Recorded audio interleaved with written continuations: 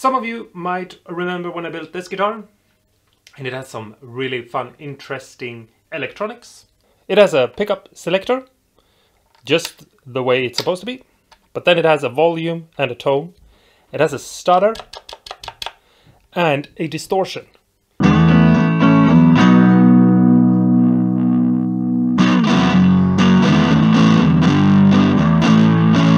Now, I never told you that I actually used this guitar to come up with that distortion thing. It was sort of what I used to try things out, to find the right diodes. Because if you didn't know, it's actually a question of using two diodes. I'll show you when I open up the guitar. And the thing is, I've been playing this guitar for a while, I really like it.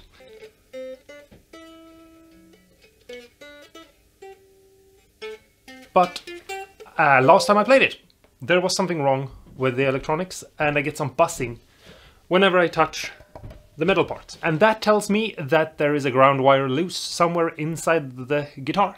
So I need to open it up to do something about that. Now, I was also thinking, because I actually liked the distortion thing that I did for the other guitar in this guitar better. So I'm thinking that I'm going to change out the electronics and have one master volume and one master tone and then a distortion knob for that fun and exciting sound.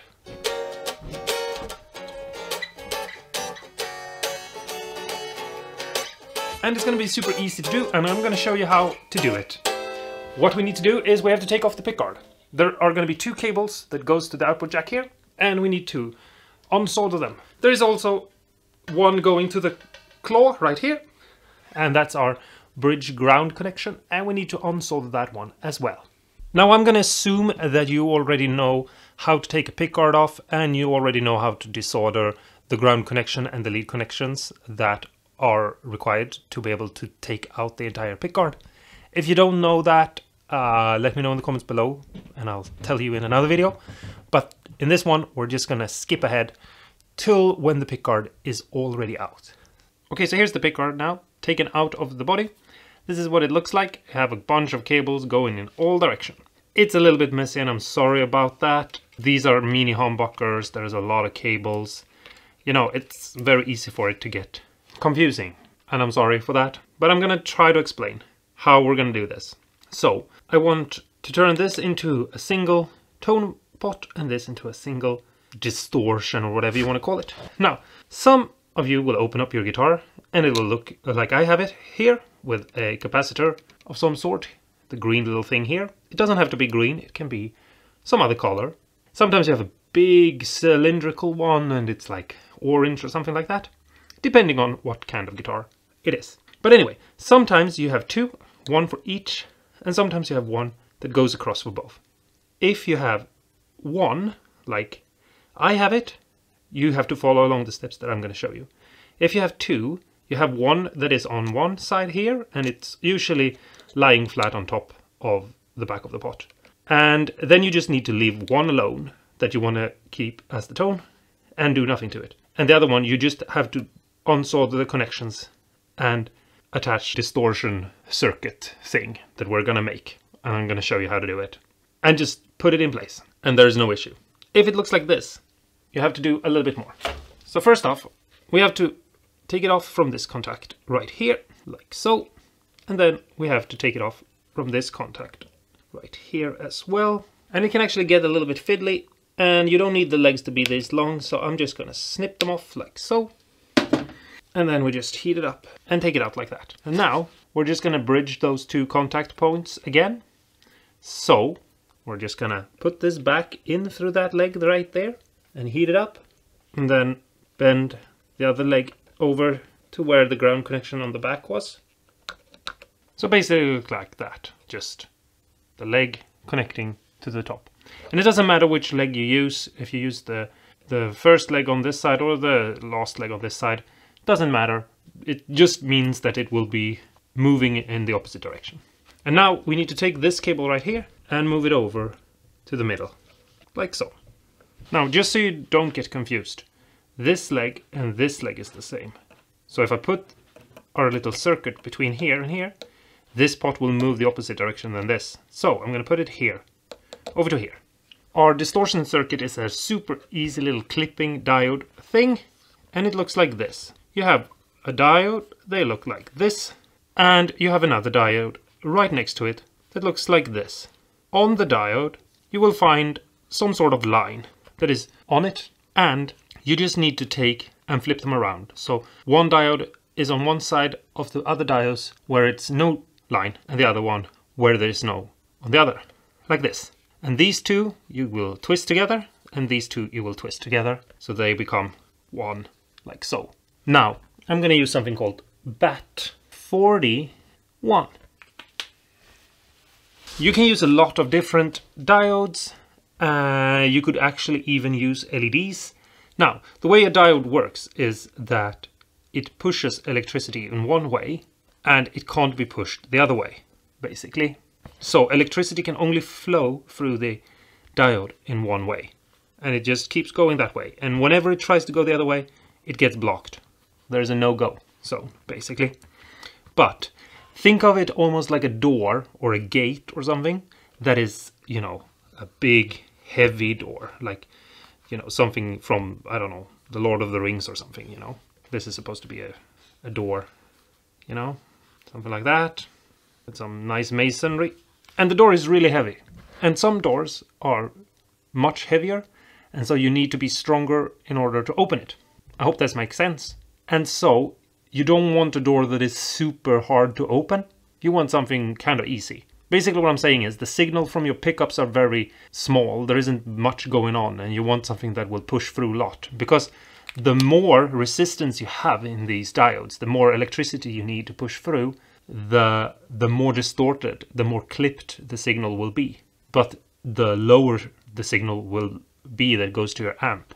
And so you want to find something that matches nicely, that lowers the volume so much that it's not really noticeable, but that distorts it enough so that you actually feel like you have something happening to your signal. And that's where having hot pickups like humbuckers or mini humbuckers can come really good into place and having diodes like for example the BAT 41s. So that's what I'm using. You could experiment with doing a lot of different ones. Now, you might want to ask me what this is. I'm gonna um, share an experiment that I'm doing here with you. So you've seen my SG guitar and in that the distortion control looks like this. Just two diodes twisted together. Well, you can also do it like this. And that's the experiment I'm going to try to do now to see if there is any difference. It's not a difference that I'm going to be able to show you. It's going to be more of an experiment for myself. And all I've done on this, because it looks wonky, is that I've covered everything in hot glue because I don't want it touching anything else because it's going to be kind of weird and messy to have it in the guitar. Okay, so now I just need to heat this up again and push this in so that it gets connected. And then I'm going to solder it to the back here as well.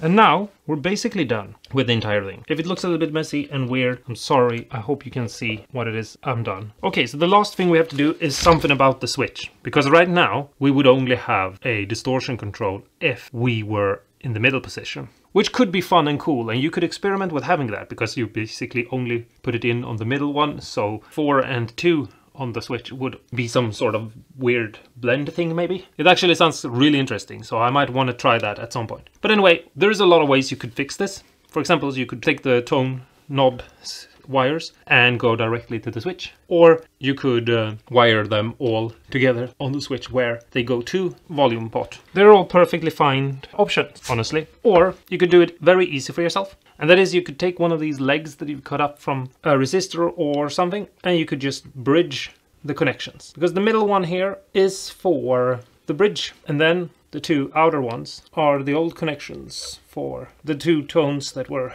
there before. So now basically I've just bridged all those three connections. And I'm sorry if it's not very well filmed. If you do full screen you might be able to see it. But basically that connection will be to the middle pickup's tone. That will be to the neck tone and that one will always be nothing because that's where the tone for the bridge would be. Obviously, if you have a, a, guitar that has a tone for the bridge, that's where the connection will be, but that's, you know, a more modern thing. Anyway, just laying something over all three to connect them. The two controls are now connected to all three stages. Yes.